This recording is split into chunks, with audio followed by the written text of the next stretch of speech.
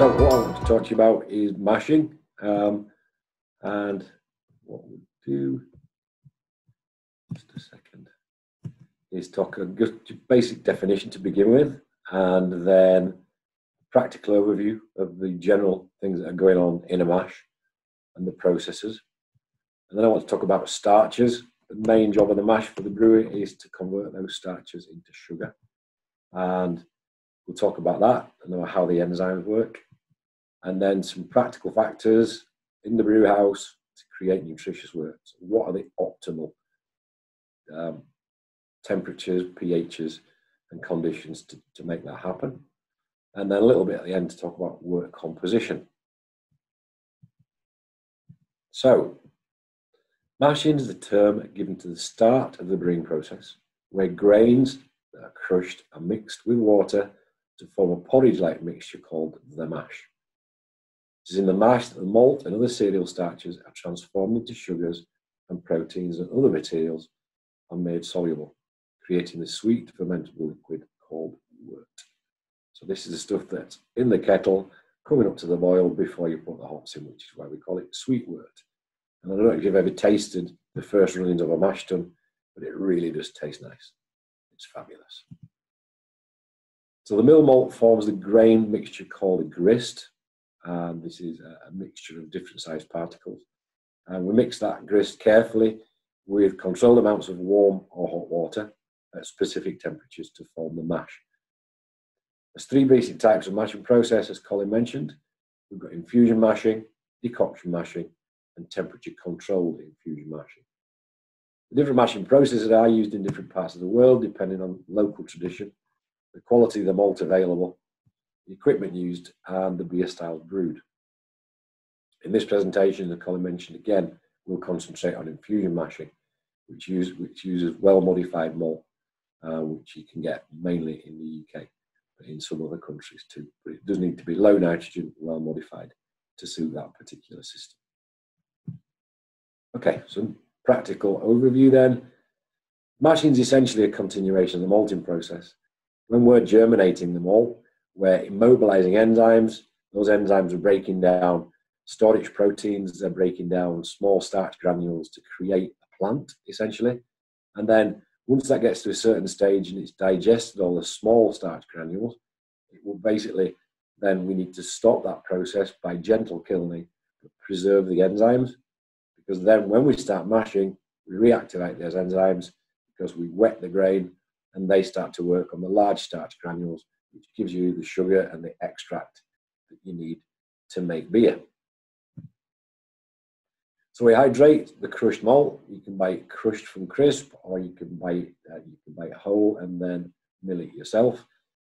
And you mix it with hot water to form a mash at a temperature that encourages these starch degrading enzymes to work.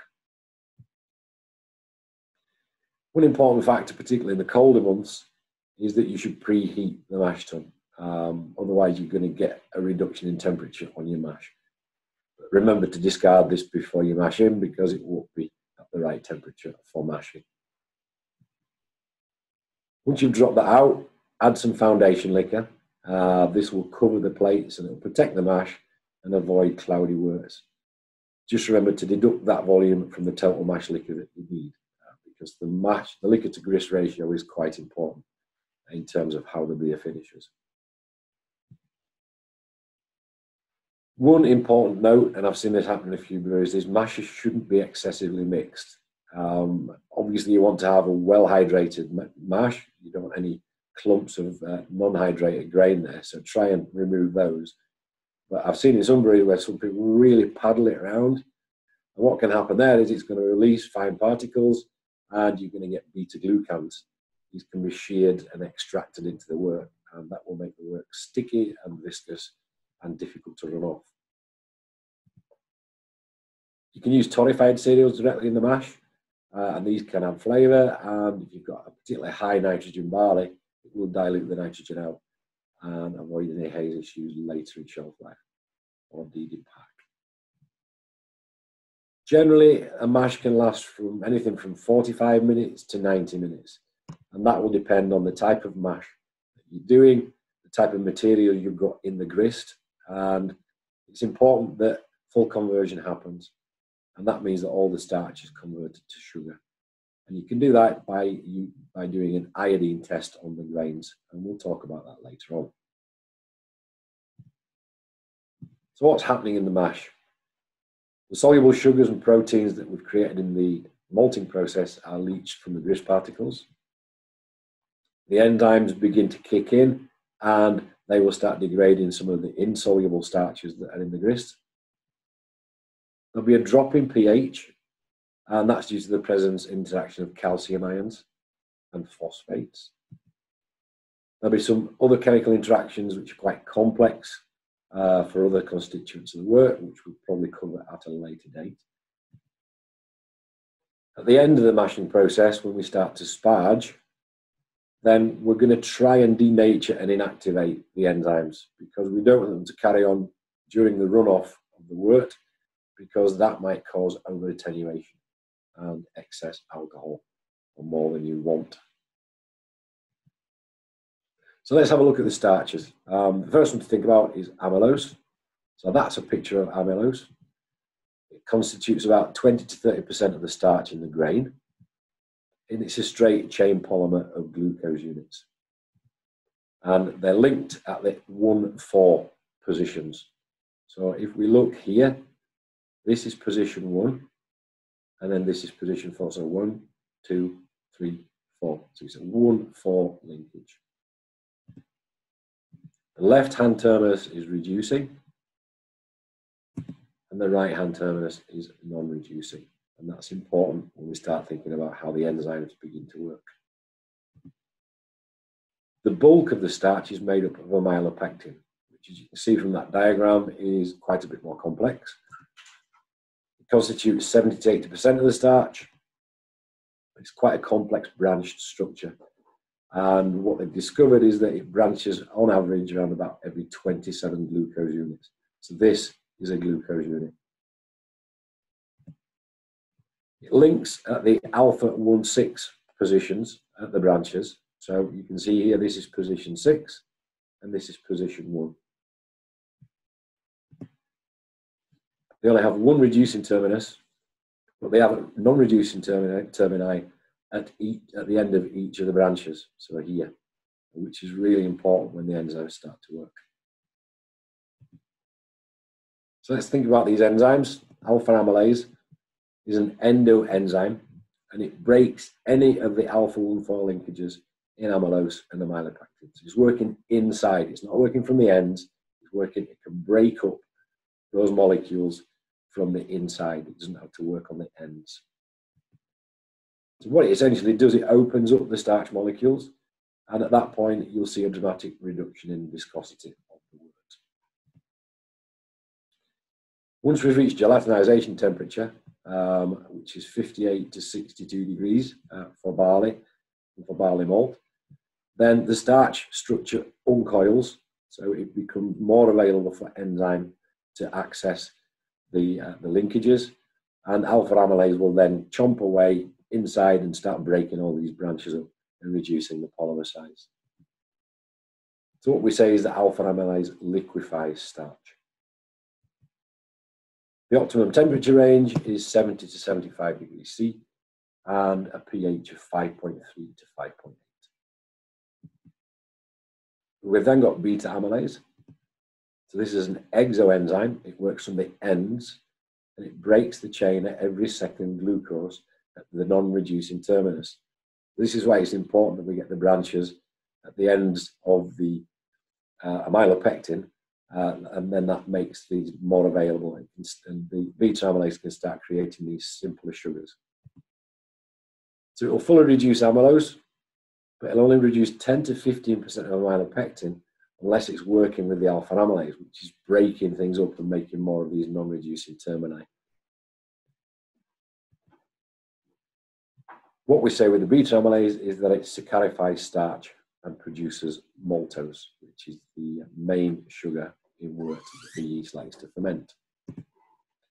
Its optimum temperature is 63 to 65 degrees, so quite a bit lower, at a pH of 5.4 to 5.6. So I'll put this little diagram in here. So this is time, moving from left to right. And we've got the starches in the grain to begin with when you first mash in. You get to the gelatinization temperature and this opens up, so it unfolds. Then what happens is you start getting these, the, the alpha amylase will start to break down these and, and create these ends. And then the beta amylase starts to come in and create the simpler sugars that we can see here. When we put iodine onto the grains, if there's starch present, it will be this colour. It will be black blue. And then as we break down the starches and we get more simple sugars, it goes through brown into kind of yellow colour. And that's when you know that you've got full conversion. You're not going to take any starch forward, which could cause some issues. So here's a nice graph of the different activities and temperatures. So along the top here, we've got temperature in degrees C. On the bottom, we've got temperature in degrees Fahrenheit. And up on the left-hand side here, we've got the activity of the enzymes. So beta amylase has got quite a wide distribution of temperature. And then alpha amylase comes in later, and that peaks at 70 degrees. And you can see there's this kind of crossover here at 67 when there's lots and lots of activity.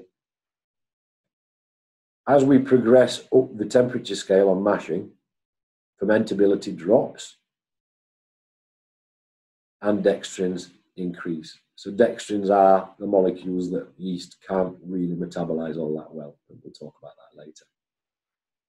So what we what we can see here in this purple section is that there's a, an opportunity, a brewer's window, if you like, of the optimum temperature to get the best extract, the most fermentable wort. So let's think about temperature now in a bit more detail. So if we were to mash in at 63 degrees, we'd have lots of beta amylase activity, low extract efficiency, but high wort fermentability. At 65, kind of middle of the road, we've got beta amylase starting to drop away. Alpha amylase is beginning to kick in and start to work. We get medium extract efficiency and fairly, fairly average wort fermentability. At 68 degrees, beta amylase is almost inactive. Uh, alpha amylase is, is very busy and very active. There'll be good extract efficiency with this type of mashing temperature, um, but fermentability will be a little bit lower. Once we've done that mash stand, the saccharification stand for 45 to 90 minutes, as I mentioned, we'll then start to run off the mash tun and extract the wort and then wash out those lovely worty sugars and sweet sugars with hot liquor. And that liquor, that hot water, should be at 78 degrees or more. Um, because what happens is that will actually inactivate the alpha amylase and stop it from breaking down the sugars and creating a wort that's too fermentable. And that's pretty important in terms of control of your attenuation limit. Mash thickness plays a part. So thinner mashes can cause enzyme denaturation, uh, particularly in some barleys with beta amylase, and then a couple of other enzymes that have relatively low activity, but they are activated in thinner mashes, and those are carboxypeptidase and protease. Thicker mashes tend to insulate and protect enzymes, so they will survive better and have more activity. So a relatively watery mash with a high liquor to grist ratio at 62 to 64 degrees will create a more fermentable wort. So it will finish at a lower gravity and produce a lighter bodied beer. A thicker mash at 67 to 69 degrees will create a less fermentable wort. So that will finish higher in final gravity and produce fuller bodied beers. So for those of you in the UK who might be familiar with it, uh, the Sharps Doom Bar was always mashed at 68 degrees. And that beer, if, if you've tasted it, is quite full bodied for a 4% alcohol beer. What you need to do when you're thinking about the beer style you want to make is getting the appropriate mash thickness and temperature for that style of beer, because that then will give you the right finish and the right mouthfeel once the beer goes into package. Another important factor is pH. So the optimum for infusion mashes, as we saw from the enzymes there, is 5.2 to 5.5. You need to keep in mind that if you're going to measure that, it needs to be measured at 20 degrees C, because otherwise there will be a, a skew because of the temperature. So always remember to do that. So an optimal mash will uh, have more rapid amylolytic starch, starch degradation, so the enzymes are going to be working at their optimum. There'll be enhanced carboxypeptidase activity. Proteins will be solid, more soluble, and they'll coagulate more readily uh, once we get through to the, the wort kettle. And there'll be minimum tannin extraction or polyphenol extraction. If the pH is high, and maybe you're going to experience this if you've got um, hard water in, in, in, your area uh, where you're making your beer, then you're going to get poor saccharification, so you're not going to get those nice, simple fermentable sugars. Wort separation will take longer, so a longer runoff. Worts will tend to be darkened. They'll be more susceptible to biological attack um, from beer spoiling organisms. There'll be relatively poor protein precipitation and because of the extraction of tannins, the beer could become astringent and harsh. So how do we reduce the mash pH? Using dark malts tends to reduce mash pH, so that might be part of the recipe. And if that's the case, great. If you don't want a particularly dark beer, then what you can do is you can acidify the mash with inorganic acids. So you can use sulfuric acid, hydrochloric acid, or my preference is phosphoric acid because it's not adding any particular minerals that will affect flavour. Another thing that a lot of people do, particularly in hard water areas, is acidify the strike liquor. This is the liquor in the hot liquor tank, and you can use a proprietary product from a company called Murphy and Son, uh, AMS. That is a mixture of sulfuric and hydrochloric acids to bring down the pH and reduce alkalinity, or you can use lactic acid which needs to be food grade. Another way to do uh, the reduction in pH is to use uh, an appropriate level of calcium salts. So adding calcium chloride or calcium sulfate will actually reduce the pH by interaction with phosphates. So let's have a little look now at wort composition. So the carbohydrate portion is 90 to 92% of the total. 50% of that will be maltose, 13% around about there for maltotriose, which is three glucose units long. And then there'll be some simple, really simple sugars there, the one glucose units, and that should be about 10%. You need to be quite careful not to create too much glucose uh, because some yeasts don't like it and uh, it gets them, it, it stresses them, uh, and they are called glucose repressant. The remainder are dextrins. So these are what's left of those branched structures that we looked at in the amylopectins. And the wort enzymes won't break them all the way down. You need to use a, an exogenous enzyme to do that to make it completely fermentable. Interestingly, some yeasts, the Saison yeast and some strains of Brettanomyces, um, which are a, a wild yeast, do have the ability to produce alpha and beta amylase themselves and they can start to digest the dextrins once they've finished digesting the simple sugars that we created in the mash. And they don't do that immediately. So what can happen is it looks like the fermentation is completed, and then 12 to 24 hours later, after the yeasts have put these enzymes out into the into the wort, they can start to ferment again. And like that's caught a few people out.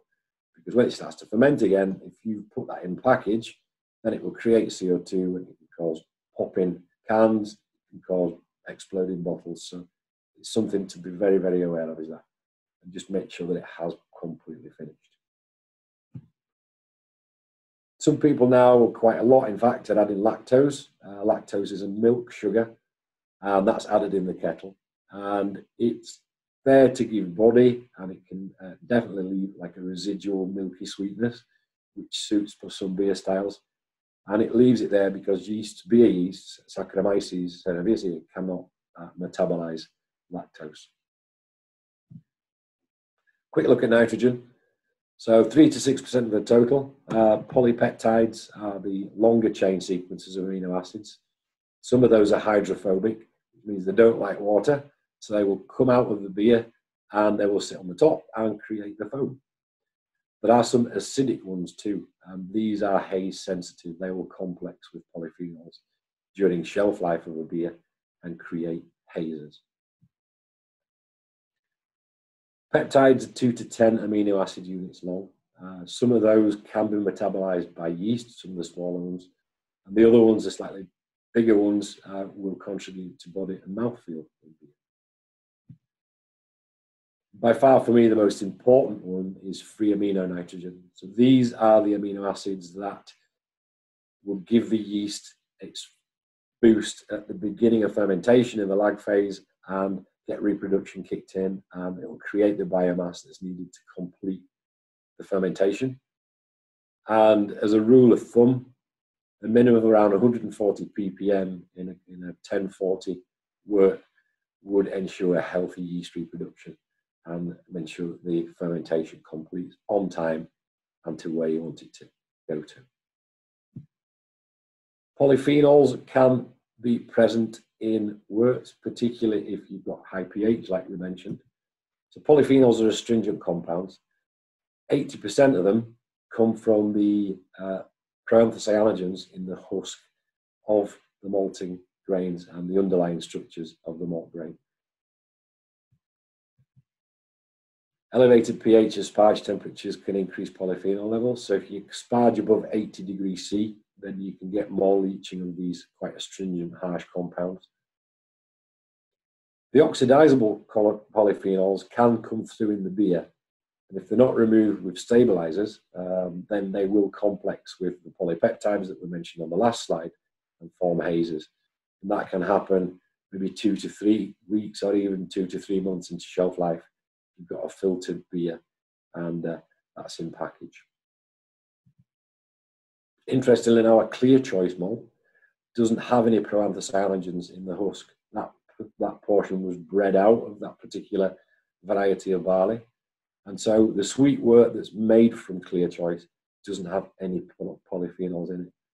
And that can be good for a couple of reasons. Obviously, stability, as we've just talked about, but also it will give a nice, sweet, kind of honey sweet wort, which tends to suit itself well to like New England IPAs and that style of beer because it's not fighting with any multi backbone. It's going to let the hops shine through.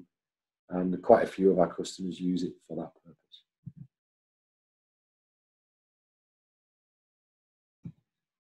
So the final slide, um, we'll talk about minerals. So we talked about calcium earlier. It does actually stabilize alpha amylase. It helps precipitate phosphate and reduces pH. Um, that's important in terms of getting the correct pH in the mash tun.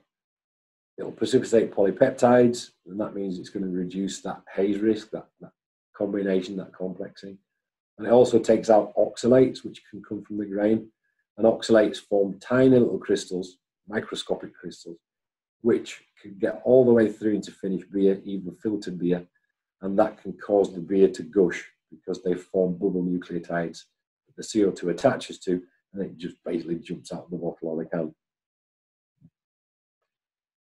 Chlorides, if you've been adding calcium chloride, chlorides will increase um, the perception of body and fullness and sweetness up to a point too. So you tend to put quite a heavy chloride load into New England IPAs to get that nice full body, that sweetness and that juiciness. And sulfates, which would be calcium sulfate, would accentuate bitterness and quite dry on the palate. So this will be a classic kind of pale ale. Um, and that's how you get that finish and flavour on the palate by using sulfates. And also traces of various minerals, zinc, sodium, phosphates, manganese, magnesium, potassium, and copper. And all these come basically from the malt or from the water and they're important cofactors in yeast metabolism. So they do need to be there, uh, particularly copper in actual fact. So that's it. Quick run through mashing. Um,